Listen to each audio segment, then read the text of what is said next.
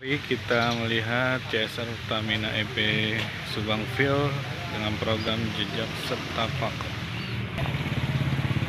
Program Jejak Setapak ini berada di Kelurahan Pelawat, Kecamatan Kerawang Timur, Kabupaten Kerawang.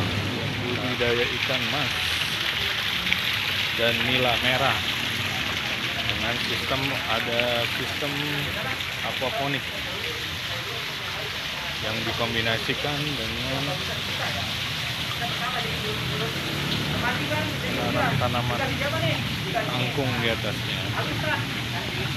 Sistem aquaponik ini memberikan nutrisi dari tanaman-tanaman kangkung yang mengalir lewat pipa-pipa ini airnya dikembalikan lagi ke kolam ikan sehingga ikan bisa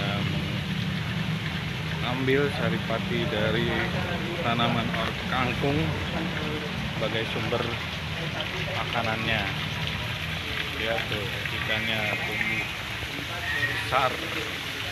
Ikan mas dan nila merah. Kita coba kasih makan. Di sini juga ikannya doyan kangkung. Daun kangkung nih daun kangkung kita kasih makan udah pengen diambil nah tuh tuh tuh, tuh. makan sama ikan men mas.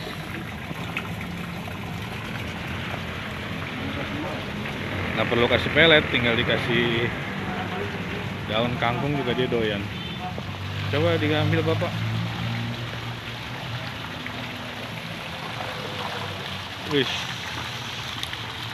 nih ke restoran dan ke pemancingan nih diopernya nih. Ya kan